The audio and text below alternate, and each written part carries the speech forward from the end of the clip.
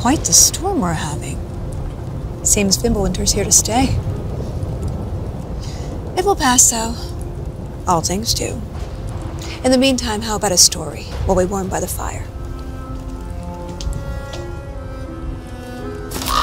Those filthy spies.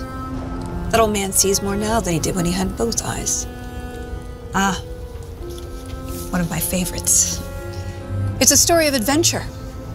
A father and son working together to overcome insurmountable odds, setting in motion the greatest war the Nine Realms have ever seen. I'm getting a bit ahead of myself. Let's start from the beginning. There once was a god from a far-off land who settled in Midgard, disguised as a man. He started a new life, had a wife and a boy. They were happy together. In peace, they found joy.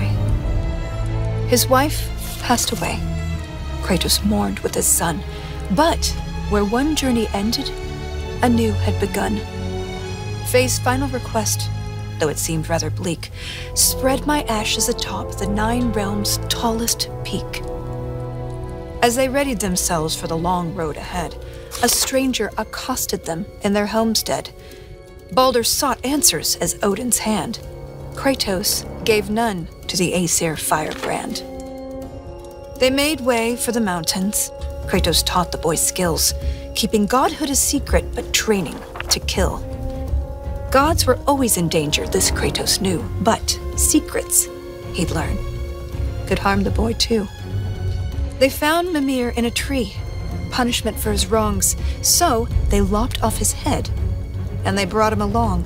Mimir held ancient wisdom and knew the lost god of war.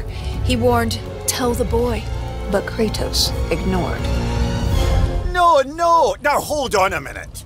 Is that all that's in there about me? Something to add? Actually, yes, I do. You see, Odin, in all of his dreadfully paranoid wisdom, trapped me in that bloody tree for perceived wrongs, and I led quite the colourful life before even meeting him. It all started when I was just a lad in the service of a great fairy king. Riveting stuff, really. We'll have to get back to that later. No! Don't turn the page! I wasn't finished!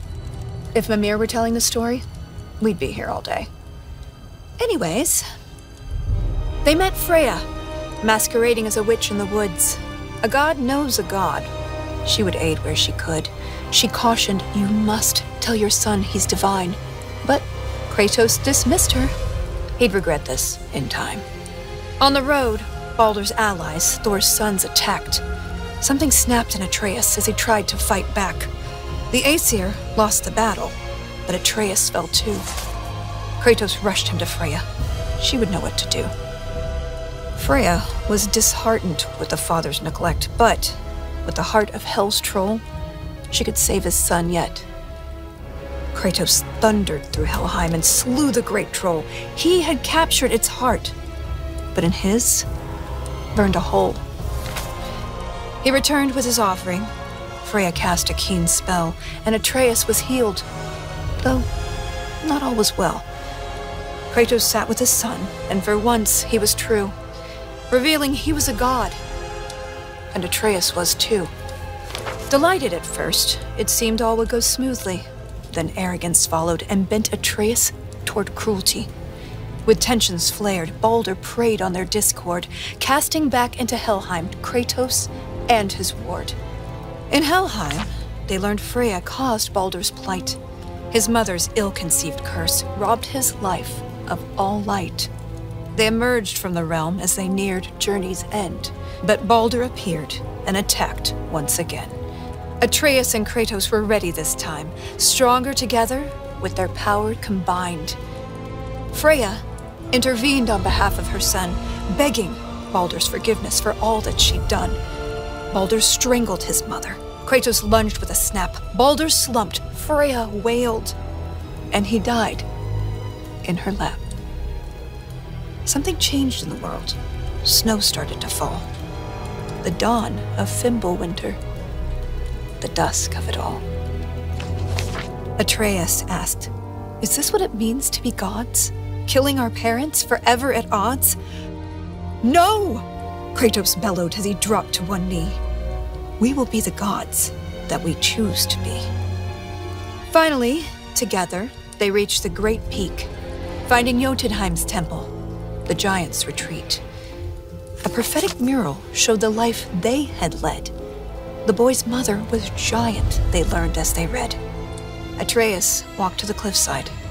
Kratos eyed the wall slowly. Beneath the boy's picture, a name was etched Loki.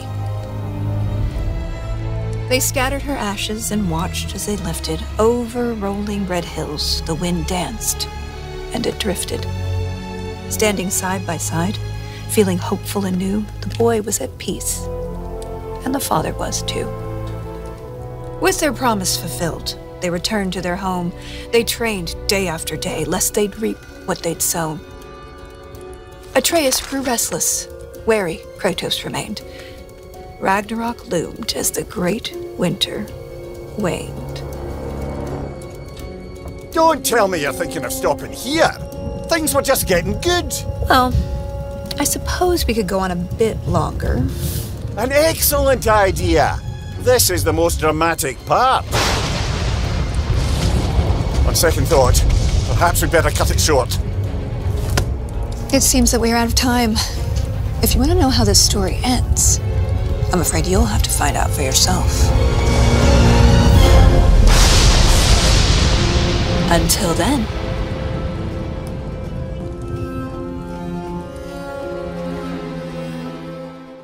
PlayStation